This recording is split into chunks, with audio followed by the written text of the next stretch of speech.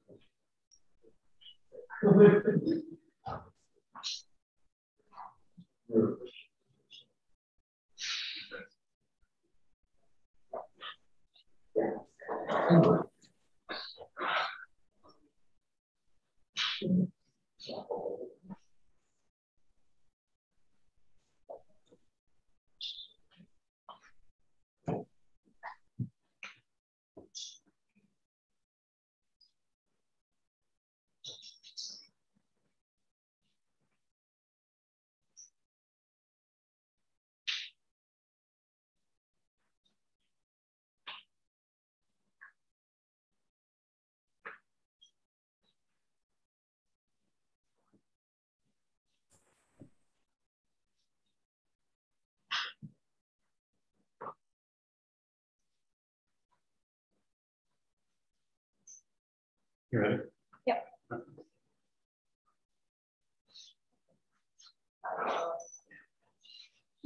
Do I need to use the mic for those on? the- No, the job role. All right, okay.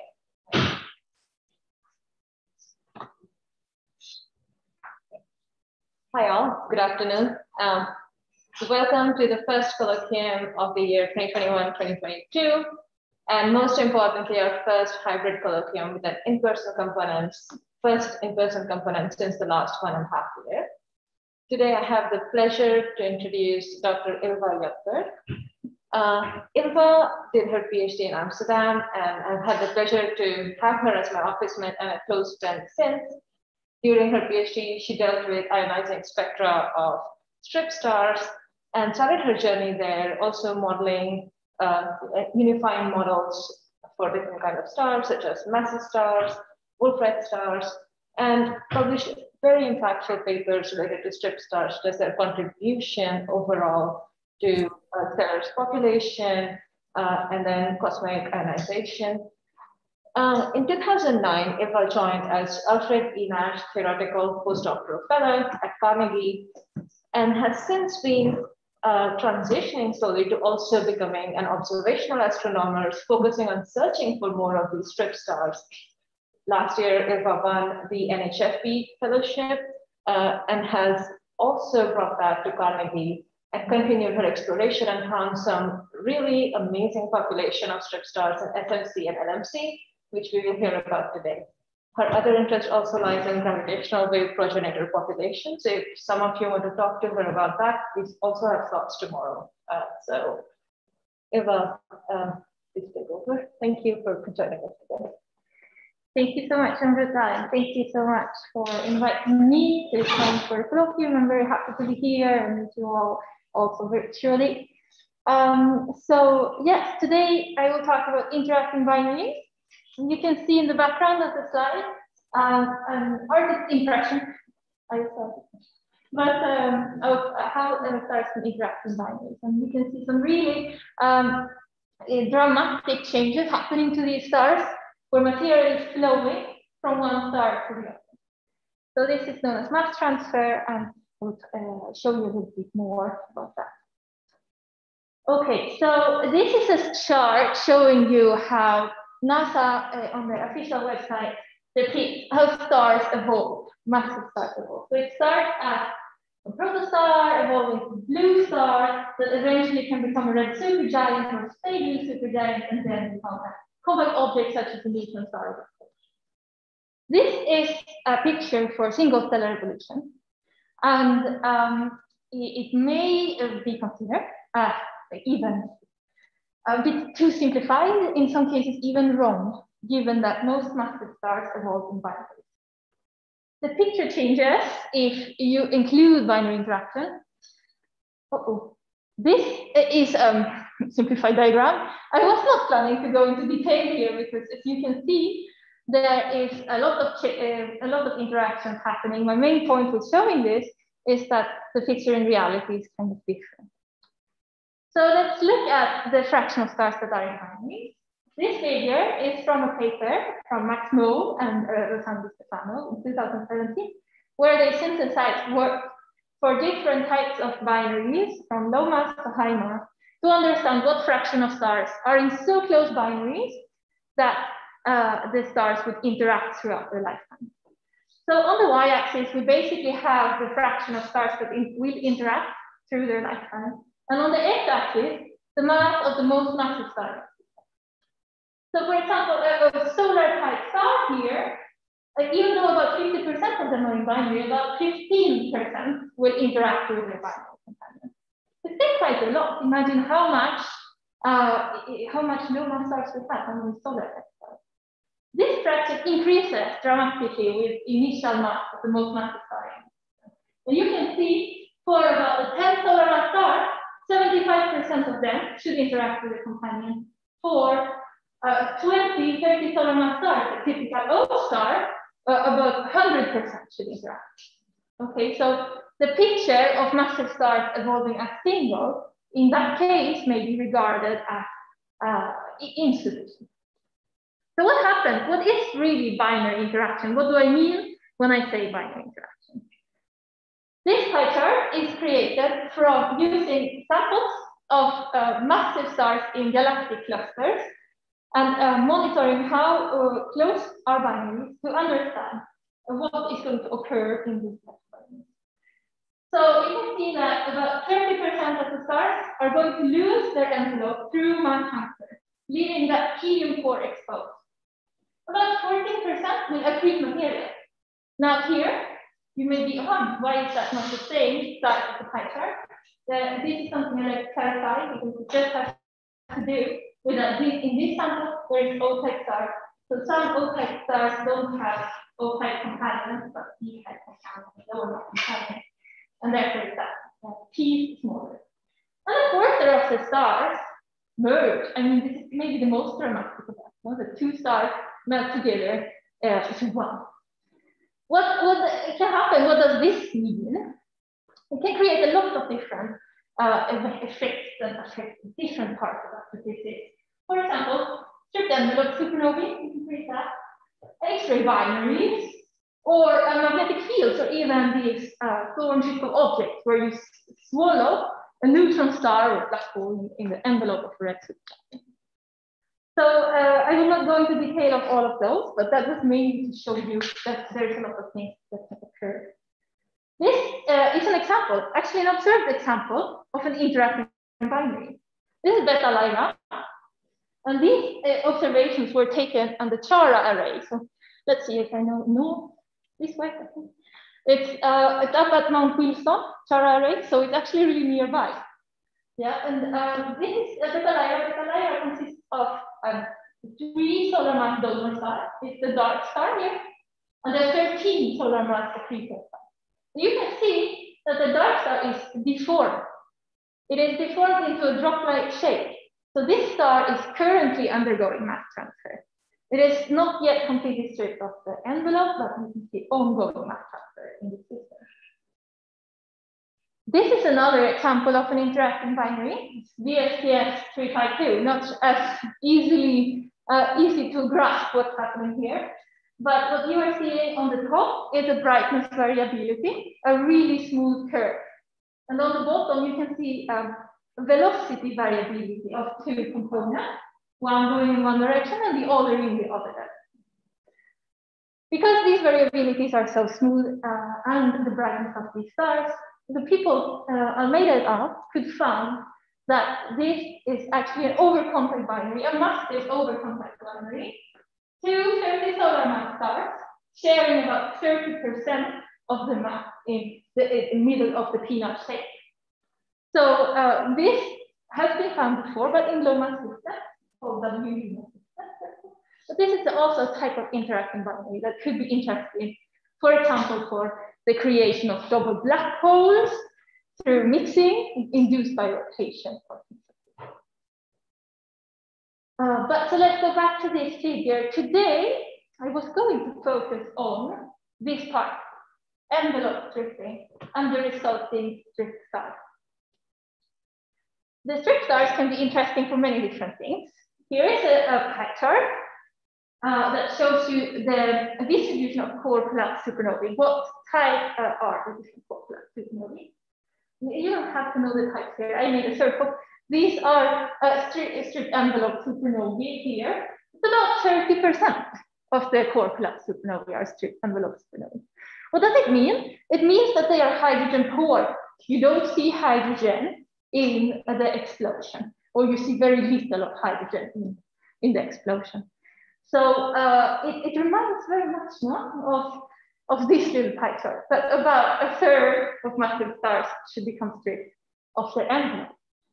So when that core later explodes, the, the theory is that that creates envelope supernovae and it's responsible for most of those stripped envelope supernovae. It's also interesting for these kind of creation of a double compact object that merge. So I'm sure you're familiar with this, so I'm not going to go too much into detail. But uh, you can see that we have two stages of strip stars. So both stars are going to be stripped in this system. The first one through Roche lobe overflow, the one we saw in the Dacova. The second one through the ejection of the common envelope. Actually, so you can see this leads to the merger of compact object standard uh, evolution, uh, formation channel of merging neutron stars. But actually there is a stage here where the star itself can uh, emit gravitational waves. Uh, and this I did a project on that I'm not going to super much focus on today. So, but I wanted to mention during this stage, the stars can radiate gravitational waves that are uh, detectable in the light in the LISA and so if we, for example, would find such system uh, in the galaxy with neutron star companions or black hole companions, they may be detectable by you. Now, the talk was called from theory to observation. So I gave a little background. So let's go into some theory. I chose today to focus on uh, ionizing radiation and the importance of ionizing radiation. But I, I'm the ground, we're in the base, basic I'm a theorist. I do modeling of the evolution of binary stars and the spectra of the product. So um, I use MESA, I use MESA to model the structure of, uh, of stars, and they also include binary interaction. And for the atmosphere or spectrum, I use the code called non-SE related But just so that we're all at the same page, what is really a strip star, let's look at this little video.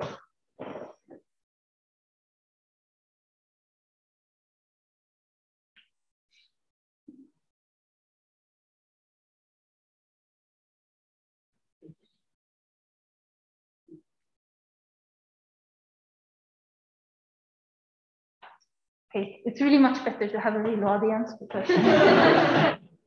nice. Thank you again.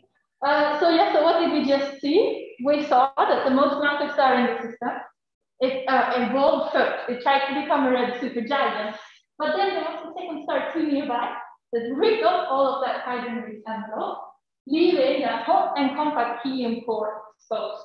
It's the blue star here, blue stars are hot. Okay, how does it look like in a more, uh, maybe, say, um, a professional model? Here we can see a evolution model of a single star. In the Hertzsprung-Russell diagram, so you should see temperature of the surface on the x-axis in the reverse direction, and luminosity on the y-axis. This 12 solar single star it evolves towards redder, cooler temperatures that eventually explodes as a type 2 supernova or hydrogen-rich supernova. If this star gets stripped, the picture changes complete, uh, completely. You can see that the track changes direction. It moves into the high temperature region. But eventually it's going to probably explode as a 1b supernova or a hydrogen-free helium-rich supernova. The background, oh yeah, I'm not the first one to have done this, of course. So the, I wanted to show you some really old simulation done here in the, in the group in 1957. These are photos are from 1957. In 57, they were still doing single stars. But in 67, they moved on to binaries. So this, I would say, is the third of the star models have a good, uh, good evolutionary track afterwards. You can see Paczynski here in 67 as well, but he didn't really manage to evolve the, the structure of the star afterwards. And you will know something in 73 also These tracks here are from Eldridge collaborators, and here you can see that we now make groups of models. So let's go back to what I wanted to say before. Yeah, so here the blue is showing you the fraction of the emitted flux that is ionizing. And so before, this single 12 solar mass star was pretty lousy uh, source of ionizing photons, right? It never really reached that blue part of the, the HR diagram. But when it's stripped, it does. So uh, the color of the track is showing you the central helium abundance. So you can basically see the long-lasting stages of the stellar evolution. The main sequence, how the helium uh, abundance increases, and the uh, helium core burning over here. There. That's the long-lasting stage From the start, it's very hot. And so, oh, no. Yeah, so this is the best you can do if um, you want to understand the spectrum of the star using only a stellar evolution model. This is a Planck curve. You can see the wavelength here, flux on the y-axis. It is really smooth. So I felt if I want to understand how, exactly how much ionizing photons these stars contribute with, we need something probably a little bit better than that, or at least check whether the, um, the prediction for the ionizing flux is realistic. So I made a spectral model. Um, and it looks something like this. So here you can see a lot more detail. You can see spectral lines.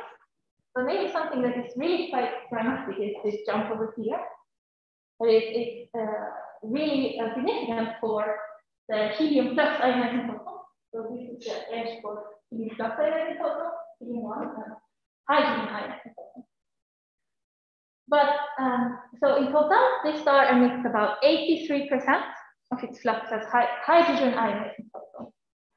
It is actually quite a good com um, uh, comparison with the, the Planck curve in the end, it turned out, but it, it, it is not working for you.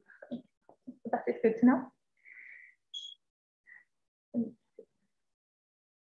So you can use these spectral models, these emission rates of ionizing photons for a, a range of, of mass of these strip stars and combine it into um, a population prediction to understand how much these strips could contribute to the ionizing emission of the cell population.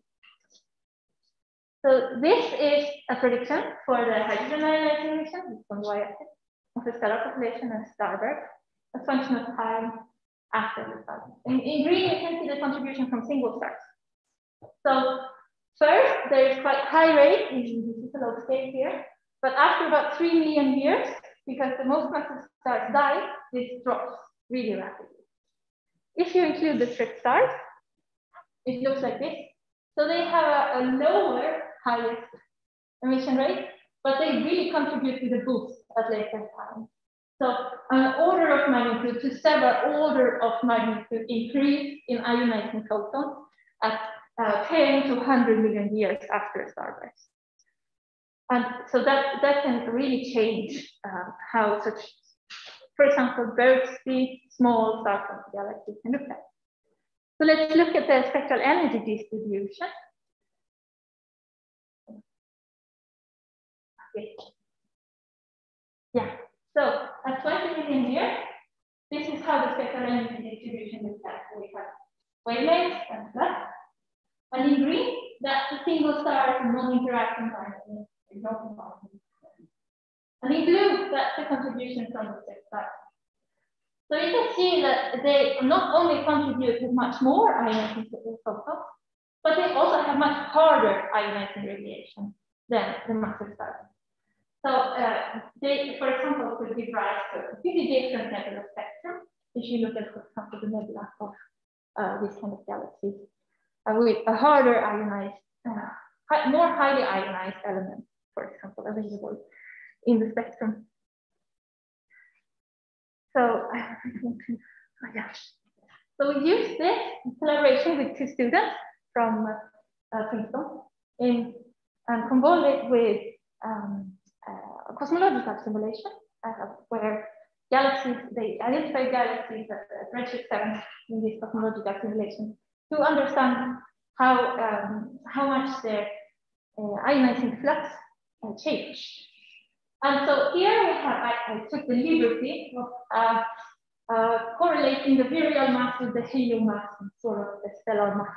Huh? And so on the y-axis, the ionizing emission.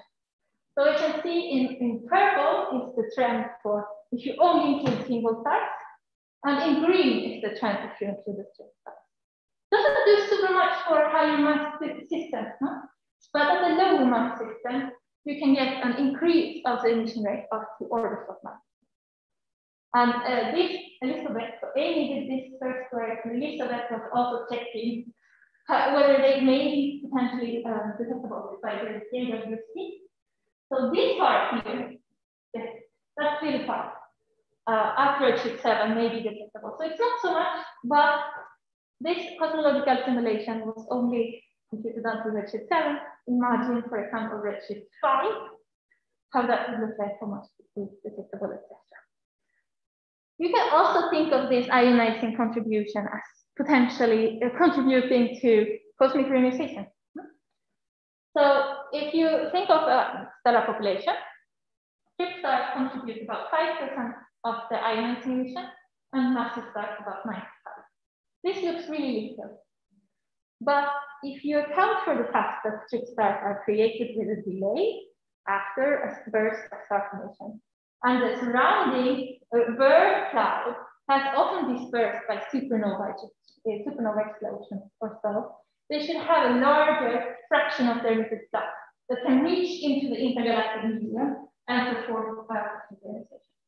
So we made a simple model for this, and we found that maybe tens of percent of the ionizing photons uh, uh, that cause cosmic reionization could have come from those two stars. So let's look a little closer at that. Here is a function of redshift. Now we have convolved this emission rate of ionizing photons with the cosmic star emission rate. So we see a function of redshift. Basically, this is just the uh, fraction, the amount of um, photons that reach into the intergalactic medium. But early redshift, the massive stars, they contribute a lot. But with uh, lower and lower redshift, the trip stars contribution increases. And around uh, redshift 7 or so, the contribution is made 10%, 20%. So if we look at, uh, for example, when cosmic reionization could have occurred, this is a model where we balance the emission rate of ionizing photons with uh, the amount of neutral hydrogen and the recombination of uh, hydrogen. And here, if you have single stars, it, it uh, causes cosmic reionization around like something. But if you include the first star, it occurs about 100 million years earlier. So the redshift here is 5.8 and 6.5. So, so this can matter. And now it's a rough model because you need to better understand exactly what fraction can reach the intergalactic medium and not. Uh, but it's at least indicative that this could have been important and highlights the importance of better understanding what uh, interacting binaries there could be uh, in the early universe and at low matrix. So you remember this picture, the theory, in theory, about a third of all massive stars should be considered. Um, this is our of published stripped stars. So we have one intermediate mass stripped star now. This is called HD 45146 or 45 for a star of 451. The four solar mass stripped star that orbit about the size of mass B type star. If we allow also Beta Lyrae, who is a mass transferring binary, and maybe Upsilon Centauri, the helium giant, to, to join the we have three. So I would say that we have a bit of um, contrast between theory and operation.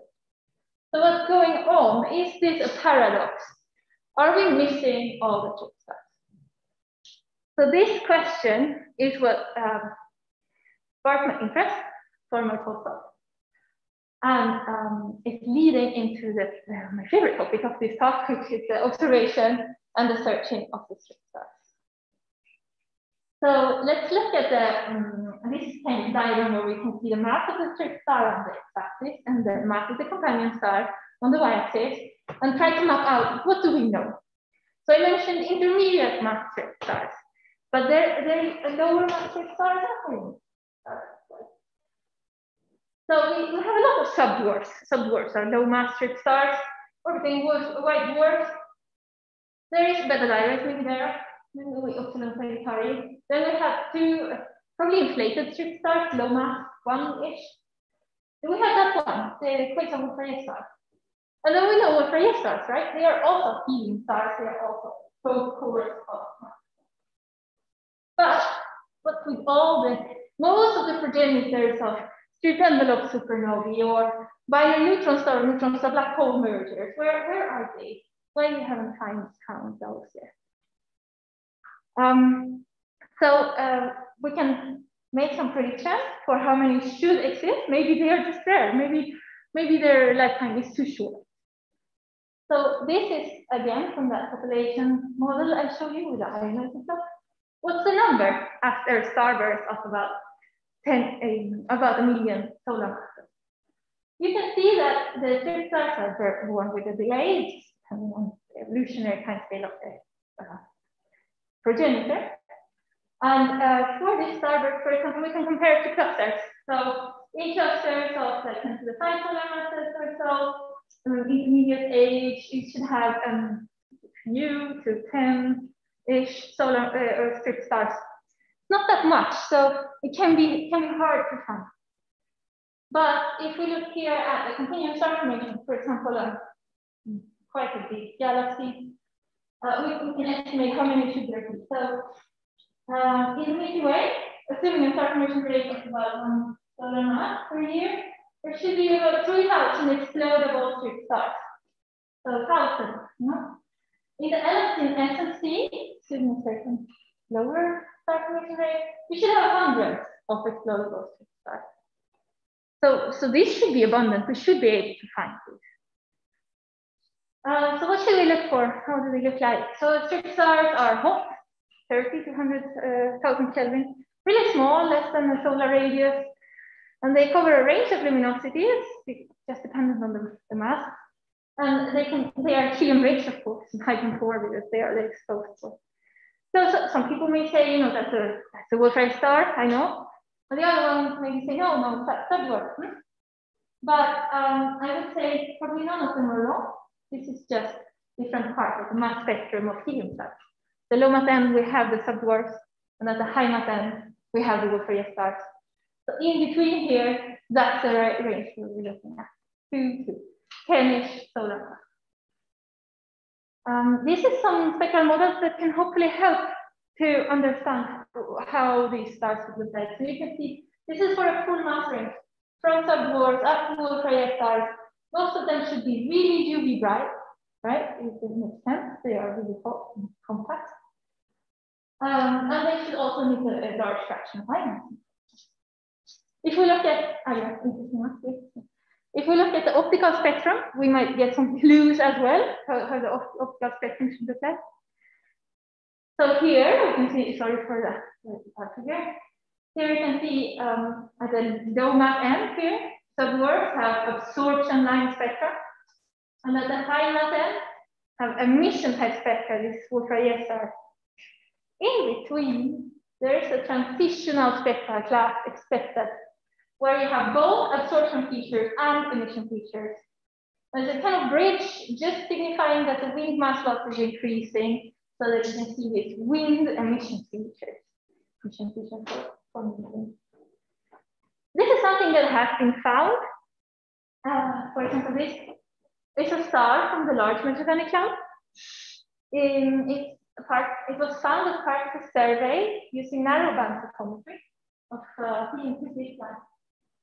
um, and they found, they were looking for Wolf-Rayet stars, found this star. They're saying, hmm, what is this? You can see the absorption features, they are typical to an O3 type massive star. And the emission features are typical to a WN3 type Wolf-Rayet star. So they chose to call this WN3 slash O3 star. Now, it cannot be a binary of those two components.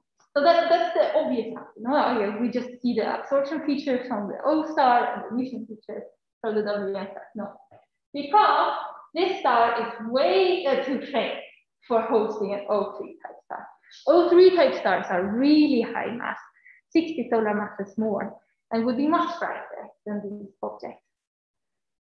So I just, I got tempted I made an overlay of one of my models. Uh, and we can see that at least, even though this is not the spectral model frequency, the absorption lines are in the right phase and the emission lines are in the right phase.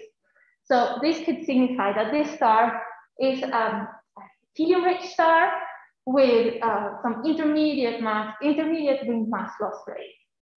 Now, whether it's a strict star or not through a binary interaction, it needs to be confirmed to be binary to know that for sure. And this has not been done yet. So that's something that I look forward to contribute. So let's fill them in. There.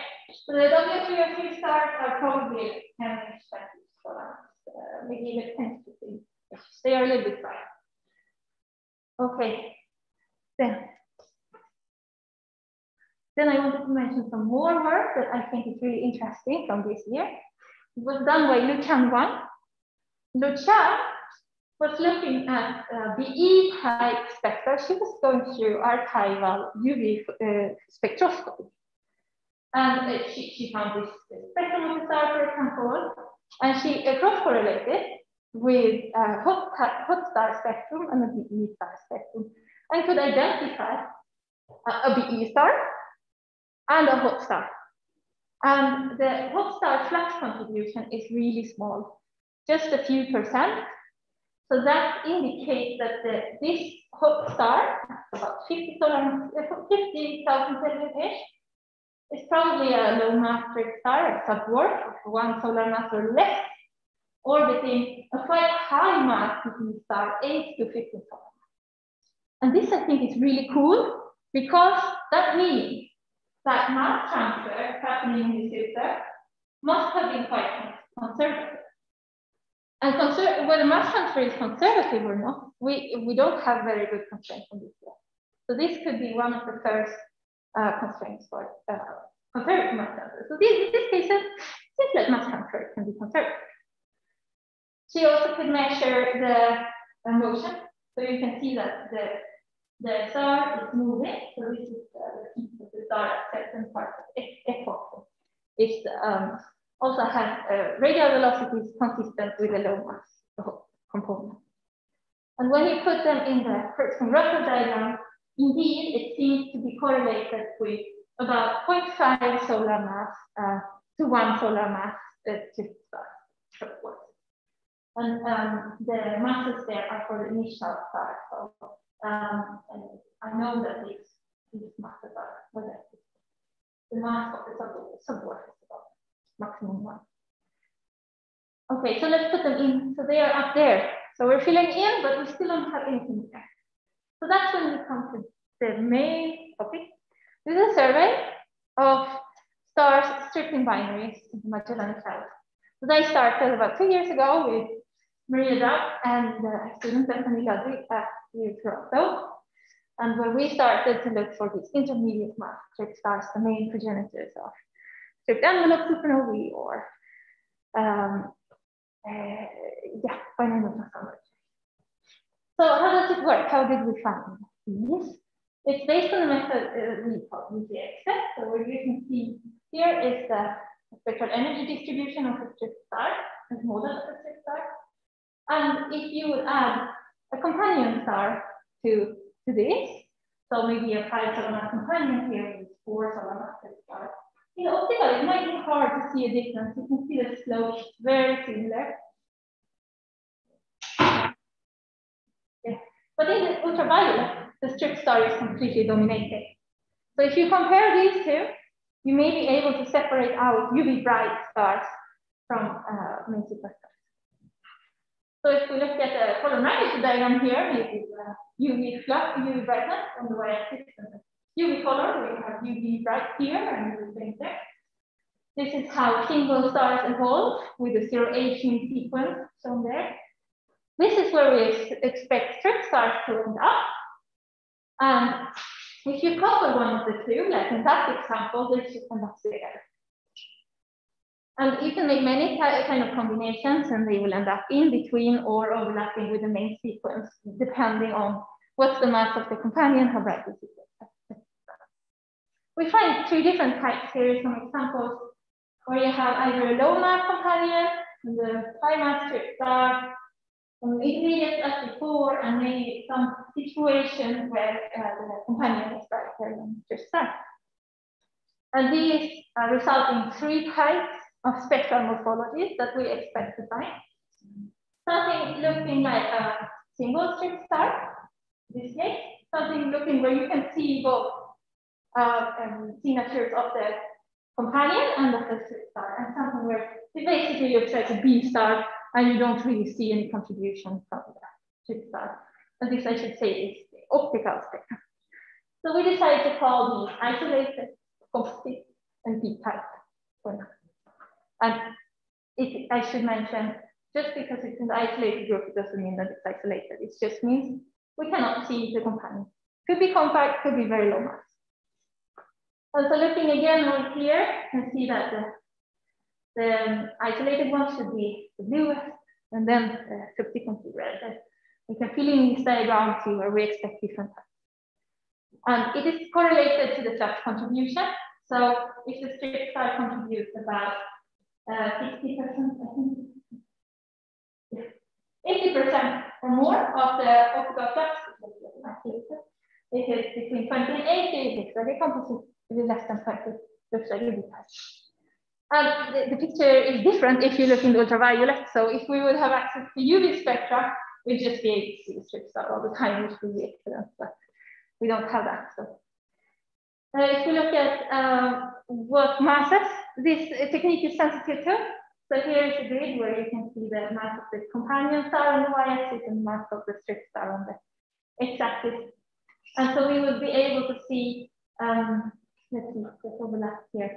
There, that's the main sequence overlap. So we would be able to see primarily uh, low mass companions, lower than six solar masses, so in that sense, we are not really sensitive to those systems of Luqian, for example, have really higher mass and low mass, uh, more large um, mass um, difference. And also, uh, this suggests that we have we are sensitive to non-conservative mass transfer or common envelope ejection systems. So it's really kind of complementary, but in a higher mass regime. So, oops, so we use two sets of data, archival data to do this. This is a, a photometric catalog optical uh, by Paris collaborators. It has a magnitude limit of about 20 and spatial resolution of about one arc second. And this is the UV catalog we use from FIVA, the UVOT with data. Uh, the UV um, magnitude range is about 18, much worse spa spatial resolution of about 2.5 arcseconds. And this I want to highlight Bethany's work for uh, making a good job. It's really important that we can uh, distinguish the, uh, the UV flux, and I will show you why. This is one of my favorite stars. I will refer to it as star number seven. Um, and this is an optical image. No? So it's, it's pretty nice. No? You can see the different stars, point your spectrograph on it to check. But this is how it looks in the UV. So here we can see some issue, right? That's probably two sources. How do you know what flux come from what star? How do you separate that? So what Bethany has been working on is um, forward modeling with um, a, a, package called the Tractor to be able to better determine what's the UV flux from these images and make us a, a, reliable catalog of UV bright sources in the Magellan South. So there's really a crowding issue going on. And so with better spatial resolution, that would be so much easier. So this is the theoretical predictions. Let's look at the data. This is the statistical data catalog for the large and small Magellan clouds. Here is the zero aging sequence. And now we have cleaned this super much. So there's in reality many more stars. But this is the uh, photometry only that we're researching on.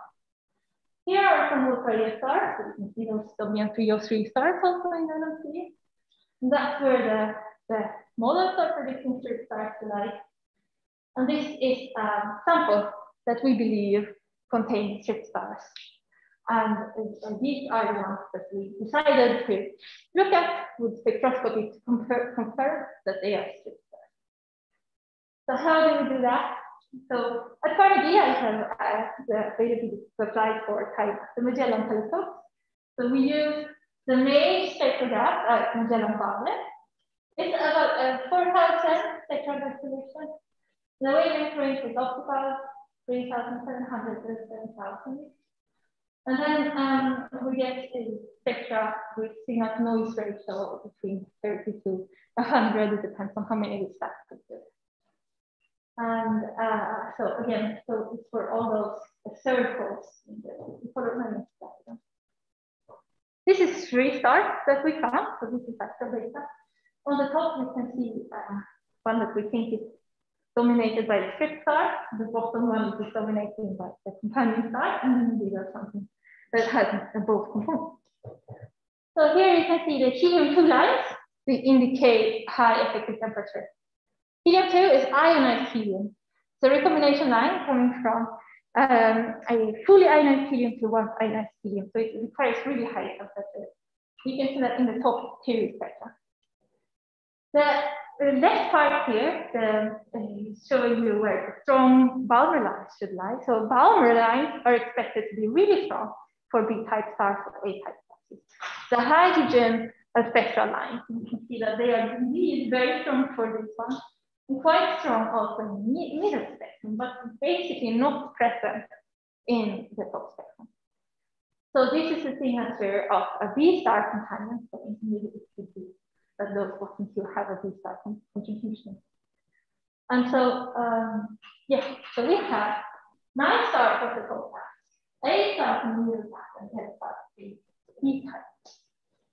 Okay, and I want to mention a few here. Yeah, one peculiarity is we did not find any composite clouds in the Why yet. Figuring that out, it could be small numbers. And now I want to focus on showing what's the stellar properties of the stars in the isolated sample. We'll go to the stars in the isolated sample just because then we don't have to deal with the contribution from the companion star. And hopefully in that way, we can get uh, as close uh, estimate as possible. So uh, we can look here at the spectrum. So what did we expect? We expected here range from third at the bottom to Wolf-Rayet star. And as you can see, when I have moved this spectrum, we can see uh, something that didn't happen, right? So in comparison to the models I showed before, there is nothing really going to emission here.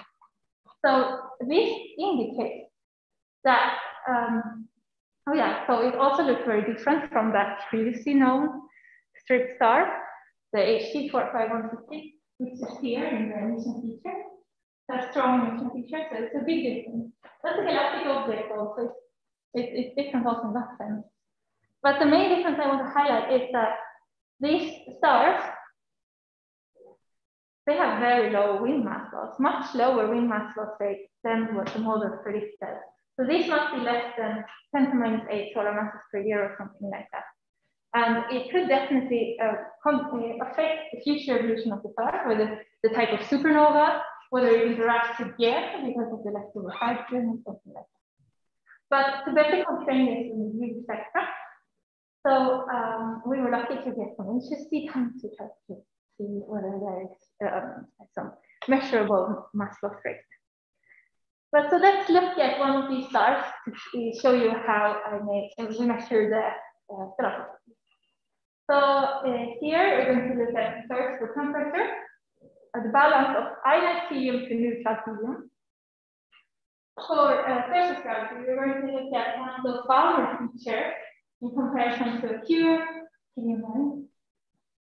Oh, sorry, that was for the, uh, for the. And here we have one of the Balmer features, uh, short wave and Balmer feature, So if you add on top of these some models for strict stars, they can cover different parts of the parameter space. And if you color them, you will see that we have the separation. Helium um, 1 to helium 2 makes sense, we get the separation. There's a helium fraction. You can see a difference depending on whether there is um, a pure helium line or a blended helium line. Uh, and the surface gravity matters whether it's a short wave We can overlay the model, no, the, the data. Here you can see that the data has really high surface temperature of usually more than 70,000 Kelvin. Most of them are uh, helium rich and hydrogen poor, 30% of hydrogen or less. And surface gravity is high, about 4.8 to 5.5-ish. Uh, so that's really significantly higher than any main sequence uh, star. Um, so it's all in agreement. Let's fill in this table. Um, more than 70,000 temperature, very high helium abundance on the surface, so close to 100%, and low G of about, about 5-ish. So we can put this into a Kiel diagram. If we measure the, the effective temperature, which know the exact, and the surface gravity on the right, so so in our different regions, you can see main sequence stars, giant stars, white dwarfs, single stars worlds like this. This is where our sample is.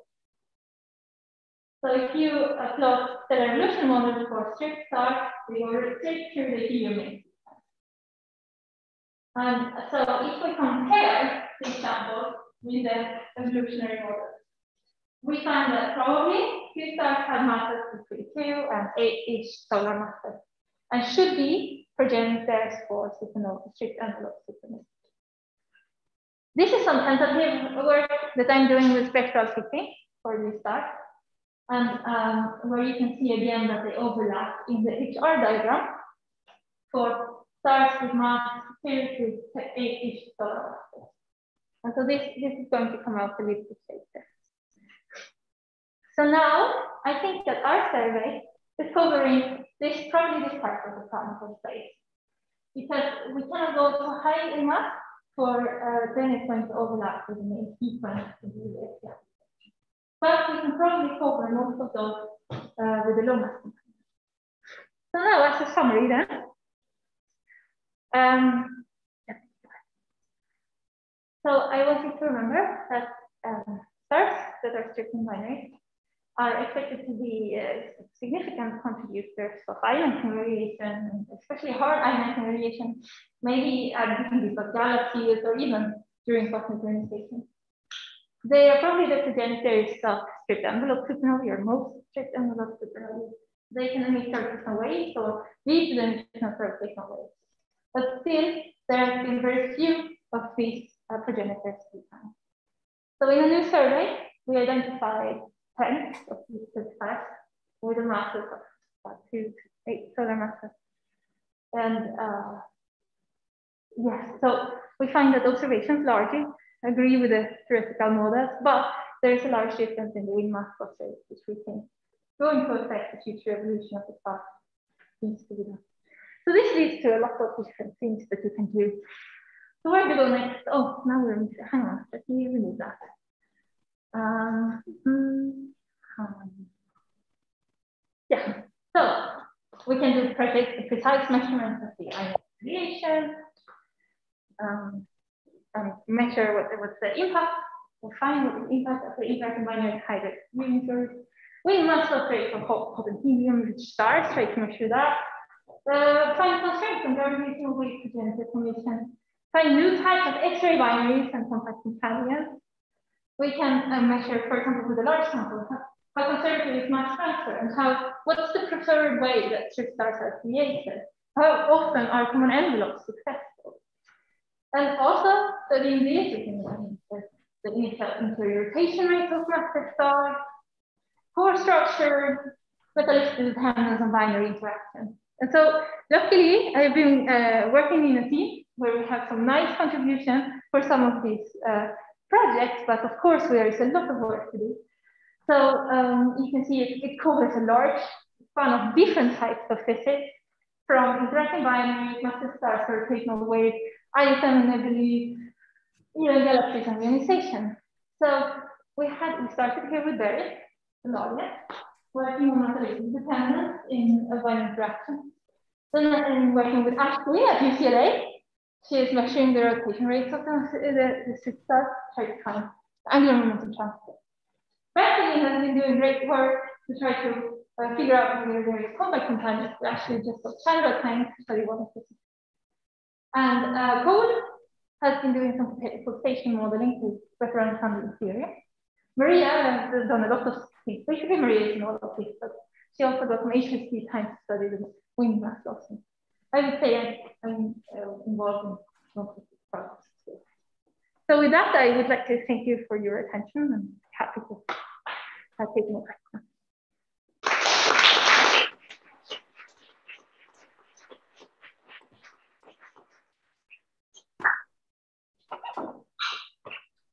Thank you. Thank you, Yuka, for the wonderful talk on uh, your current research stars and the amazing population that we found now.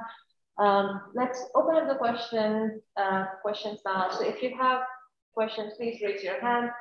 And uh, if you're online, please post the questions in chat and we will be monitoring it uh, and amplifying them here. So yeah. So I already see that in chat there is a question from Dylan. Could strip stars extend the hydrogen and, uh, sorry, the H alpha emitting lifetime of helium-2 region beyond the typical 15 mega year expected from starburst uh, 99? And if so, what level would the H alpha luminosity of an instantaneous starburst plateau at relative to its peak? Thank you. That's a very nice question. I'd be happy, I, I would have uh, been happy to go more deep into that. I have not done any uh, nebular um, spectral modeling, which I would have loved to do to answer that properly.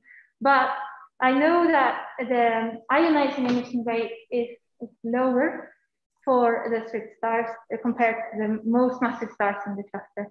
Also, with time, you, you lose quite a lot of that gas that is in H2 region. So I'm not so sure exactly how much they could affect the, um, the H alpha lifetime. It could be that it does something. There is still nebular modeling need to be done. So it could happen though, is a, a potentially contribution to helium-2 nebula lines, which could be quite interesting, actually, and something I would love to work Cool. Uh, Jim. So you mentioned that most of these should be in binaries. Have you done any multi-epoch spectroscopy to see if any of in binaries? Yeah. The orbital period velocity. Yeah, we have done that. We have measured um, and controlled that all of the stars in the sample that I showed um, are showing uh, orbital motion. Some of them we have uh, full orbital solutions for, but it's a small part of the sample. And we need to take more spectra in order to follow, uh, fully have full orbital uh, solutions for them. But some of them are really interesting. I think, for example, let's see if I can find that one. Um, this in the middle here is an SB2, and you can see how the hydrogen lines is moving in one direction, and the helium one is moving in the other direction. This one on the top here, star 7, is uh, SB1, and this one has an orbit of maybe 40 days, but it seems to orbit something quite massive, and also has a tentative X-ray detection. So that's the one that Bethany is, uh, has gotten Chandra time for. So, yeah. So do you know, do you have any idea yet if most of them are in long period binaries or short period binaries? The long period ones probably went through stable mass transfer, the short periods maybe went through unstable mass yeah. transfer. Let me show you. Um, okay, so from top to bottom, long period, short period, short period, long period, short period, short period, short period. Okay, so uh, it's about um, most are in short period binaries, which means days or less. And a few are in longer period binaries, which means 10 days or more. So um, that's true for the isolated samples. The composite, we don't have enough data to say how fast they're moving.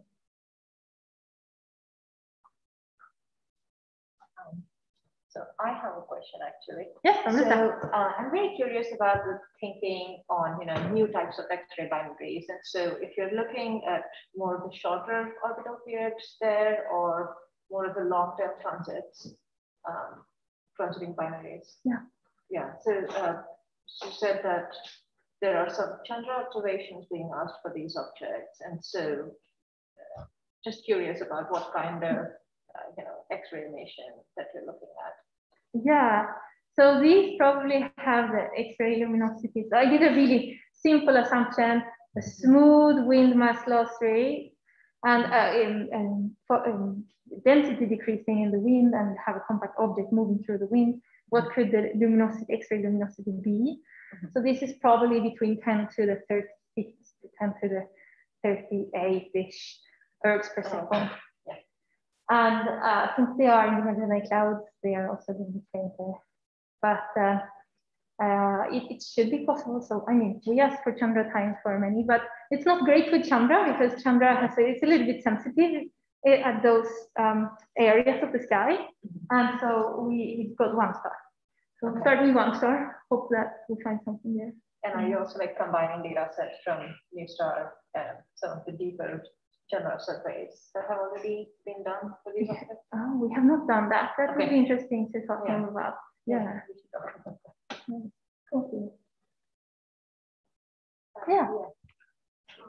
So um, we spoke about um, uh, hydrogen script and uh, helium rich stars, but uh, you are into um, hydrogen anti-rich script stars and where the um, second part of the so are you referring to completely helium-free and hydrogen-free stars? So like, like really the cores of massive stars, the deep core. Yeah, those are also interesting. I don't think we have them in the sample, but those are definitely interesting. And people are asking me, where do they come from? How do you create the 1C supernovae? Okay, that's complicated, right? Because then you need to strip these stars one more time. And probably it's not enough with doing this during the helium shell burning. So let's let's look at the HR diagram again. Sorry, Ylva, can you repeat the question? Yes, of course I can repeat the question. Hang on. Or just paraphrase it. Let me bring up the HR diagram. Yeah. Okay.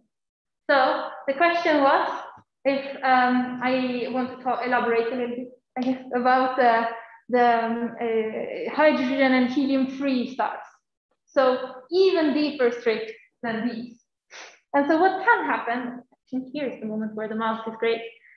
So here is the helium core burning, where you can see the color changing. Over here, the helium shell ignites and the star expands because the core uh, contracts.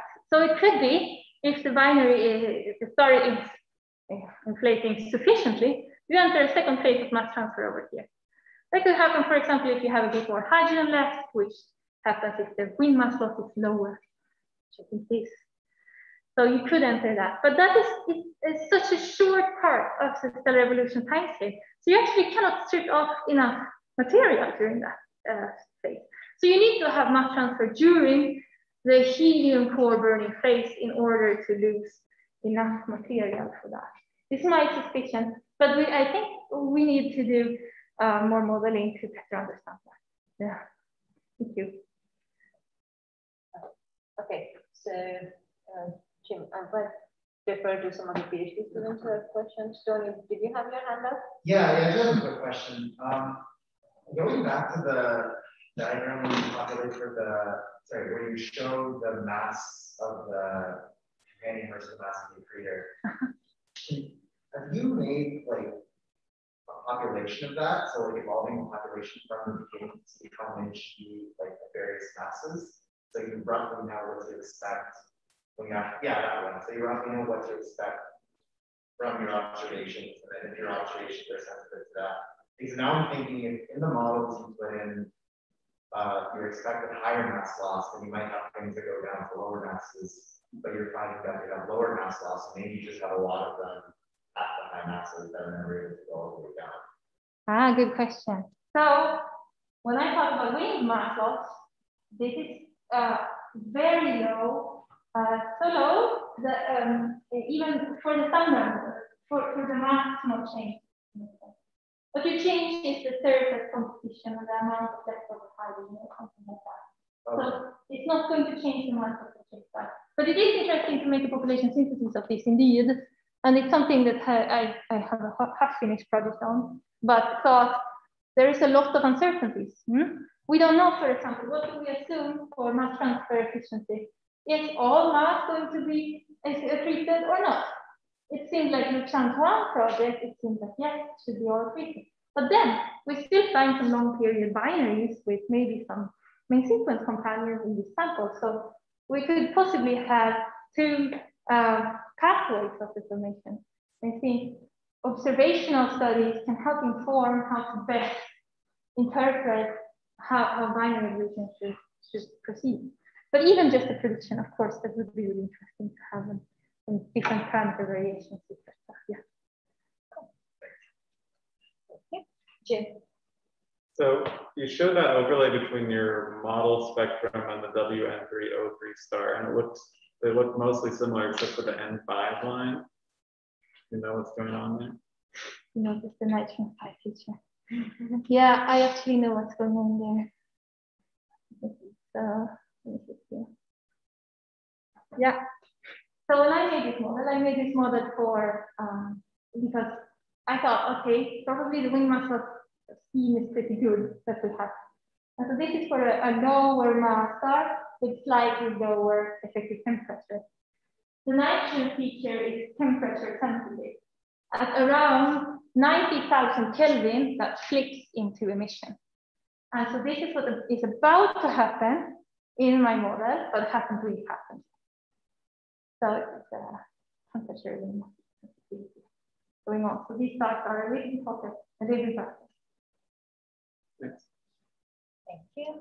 So um, we are almost five minutes over the time limit. So I would like to thank you all for joining us today uh, in both virtual and uh, in-person setting.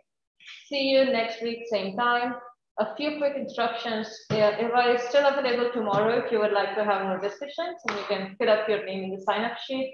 And we have two more spots left for dinner today. Uh, so if you want to take a look at the sign-up sheet and sign yourself up uh, for the dinner, please feel free. Uh, thanks again and see you next week. Thank you. Yeah,